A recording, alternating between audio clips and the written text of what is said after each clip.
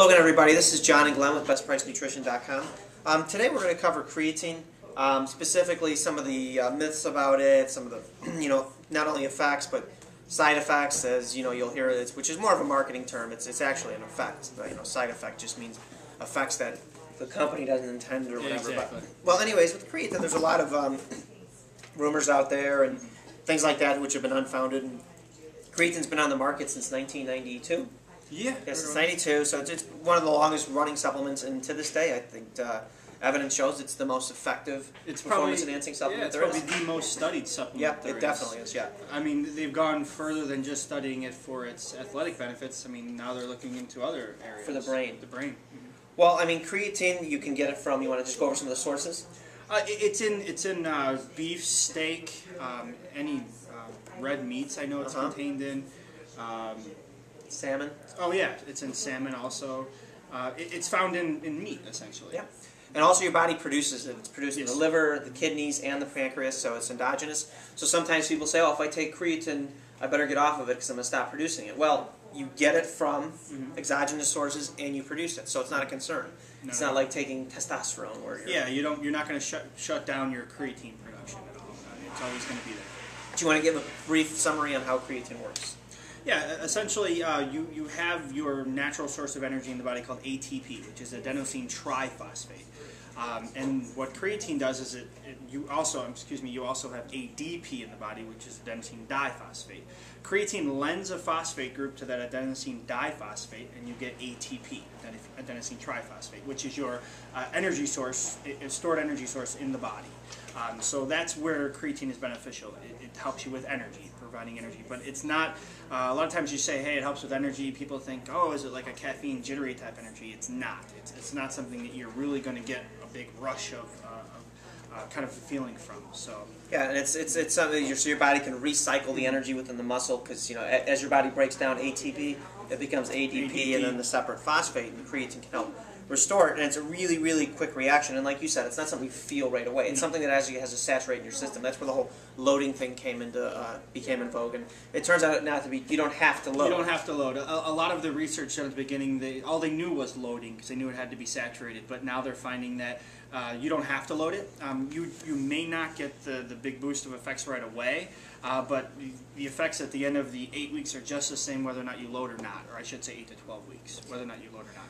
Yeah, and it's it's you know you're, with creatine, it's going to work. We were talking about before. It's a very fast energy system. It's not going to work with the aerobic system, for instance. It's going to work with the glycolytic and anaerobic systems.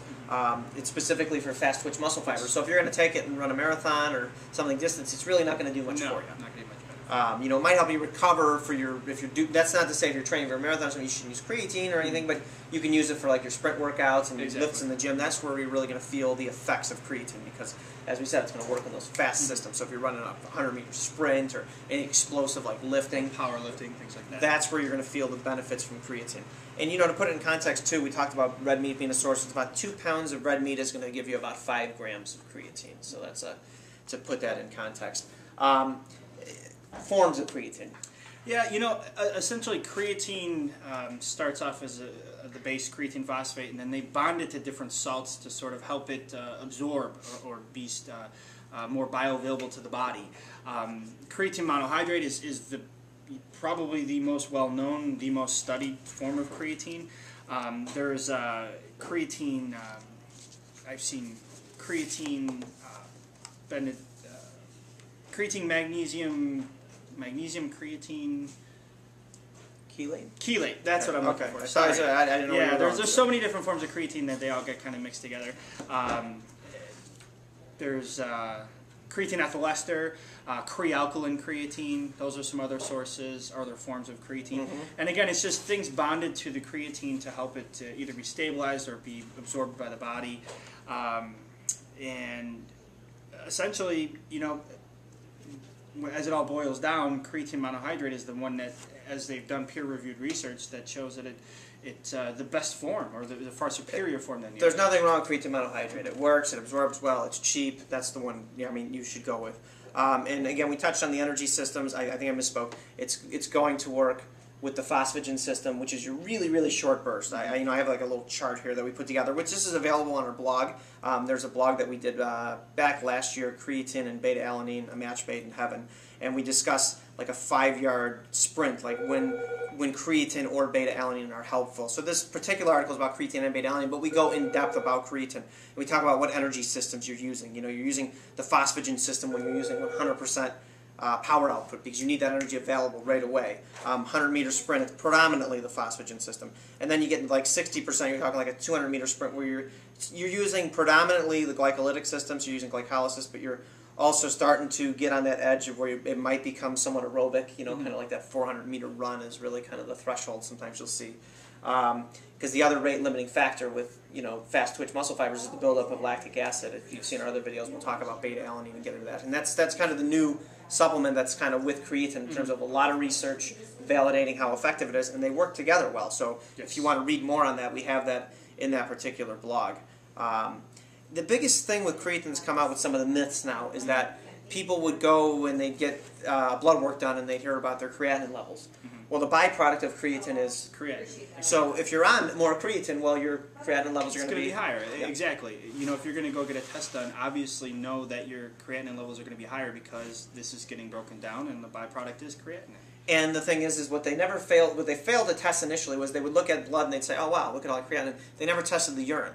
Well, they went ahead and tested urine and found the expected amount in the urine, which showed that the kidneys were processing it properly. Exactly. Um, that, that was the big, big concern initially that came out with creatine. People like, oh, it's going to liquefy your kidneys. If you don't have any prior kidney conditions, then you'll be fine. You can get your, you know, you can do a standard test for kidney function. It's the GFR, or glomerular filtration rate, is what they're going to look at and see and make sure that your body is getting rid of the creatinine fine. So if you don't have any kidney issues, there's no, there's yeah. none, there's no concern. And like I said, the supplement's been out since 92, mm-hmm. 93, give or take, you know, a year. Yeah, creatine is a large molecule, so yes, it does have to pass through the liver and kidneys, and, and you know, people say, oh, it's too much stress in the kidneys. If, like John was saying, if you don't have any pre-existing kidney conditions, you're okay. It was the same with high protein diets. Yes, the thought was. Exactly. I mean, there's absolutely zero, zero empirical evidence to show that. And as you said, even the AMA has discussed creatine and the effects of it on mental focus mm-hmm. and you know abilities to study better the and brain, think sharper. Studies for Alzheimer's, MS now. So they're, they're really yeah. starting to really research it and see where else it can help benefit.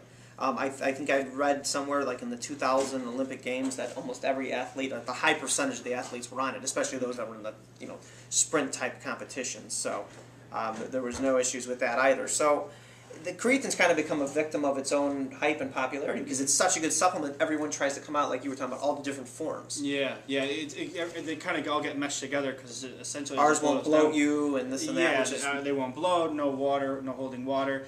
And, and sort of the idea behind that was uh, you would take uh, creatine with a large amount of carbohydrates to get that insulin spike, and then that insulin would shuttle the creatine into the muscle cells. Four times a day, people yeah. are sucking down Cell-Tech or. Oh, if you imagine seventy-five grams of sugar four times a day that's what 290 grams of sugar. Oh, that'll bloat you because of the sugar. Right, so that was the problem. People are, oh, I'm sucking. Well, that's all the sugar. It's not like, oh, the creatine's doing. It. And also, you need the water that you retain inside of the muscle cell mm-hmm. for creatine to be effective. That causes intracellular tension, and that water draws everything into the cell, which is what you exactly. want. It kind of causes an anabolic effect. I mean, that's that's part of the idea. So the notion that our creatine doesn't bloat you it can be summed up as there's probably not any sugar in there. It has nothing to do with the form of creatine. And if yeah. yours isn't helping you hold that water in the muscle cell, well, then it's not doing its job. It's just nonsense. So.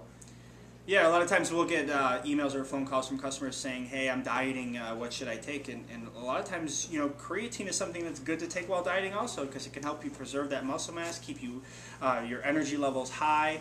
And again, like John was saying, it's not something that's going to bloat you. It's that 75 grams of sugar that you take along with that. So that's always something to, uh, to yeah, monitor. That's some marketing. Some of the yeah, the, oh our our creatine won't do this and ours will do that, and you know no loading phase, and you know we covered the loading phase. We covered the notion of bloating. I mean that, that's a, that's a sugar thing. Um, so that's I mean that's that's mainly it. Yeah. Um, I'm trying to think. We have any other questions on it? Yeah, I there's so much we can do. I mean, there's so many peer-reviewed studies on creatine that it's just. Uh, yeah. yeah, as it boils down to, it's, it's one of the safest supplements. Uh, I mean, it, generally, like John was saying, only if you have a pre-existing kidney condition would you not want to take it, or, or Yeah, there's a lot of things that you shouldn't take if you have a pre-existing Exactly. kidney condition that you, you probably have to monitor how much protein you take. I mean, everything. So that's different. If you're uh, of complete health, you know, there's no issue. And if somebody's out there on the, some goofy website saying that creatine's liquefying kidneys and stuff, okay, I'm sure because that's in the best interest of these companies Exactly. to liquefy your kidneys because then you'll return and buy more. That's that's great. And it's and as we said, there's plenty of research, human research. So. Um, and that's that's that. So if you guys have any questions or comments, you know you can find us on Facebook. We're on Facebook now, facebook.com slash best price nutrition. You could also post your comments in the comment section of the video or on our blog. And again, the blog that we referred to in this video is called Creatine and Beta Alanine, a match made in heaven, and that's at bestpricenutrition.com slash blog. Thank you. Thank you.